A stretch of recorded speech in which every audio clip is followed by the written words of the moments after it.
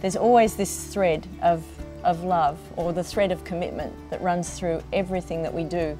Um, that means that it doesn't matter what happens, it doesn't matter you know, how silly the argument, we'll still be there together on the other side of it. And that's what keeps us always forging ahead and, and growing together.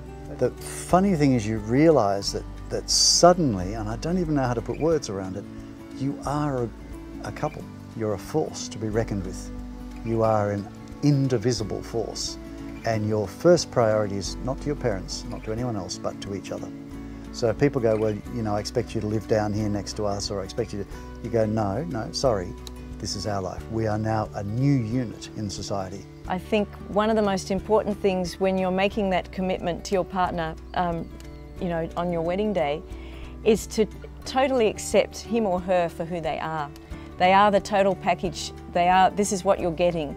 They aren't necessarily going to change from that position.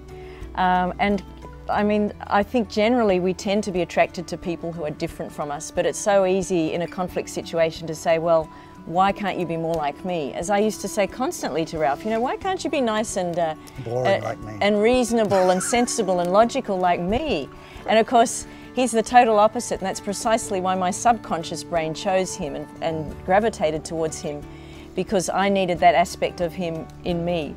And I now appreciate that that's who he is, and he's not going to change, and nor should he, because um, he is who he is.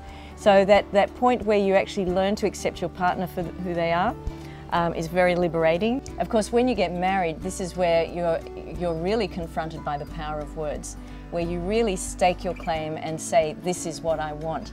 And it's very powerful to be standing there at the altar facing your partner uh, and saying, you know, when they ask you that question, do you choose to take this partner for your lawfully wedded husband? Absolutely. uh, and you stand there and you say, I do.